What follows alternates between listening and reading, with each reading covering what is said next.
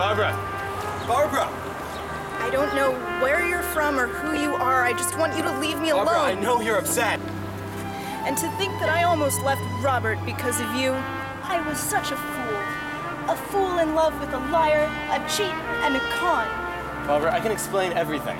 Get off me. Barbara, I'm not from this planet. I'm an alien from outer space. I was sent from my home planet of Gyarados in search of more oxygen. When my ship had knocked off course, I crash landed on Earth. Do you expect me to believe that story? My spaceship is right over here. Let me show you. Barbara, wait! Barbara, wait! Fudge this planet. I'm going home.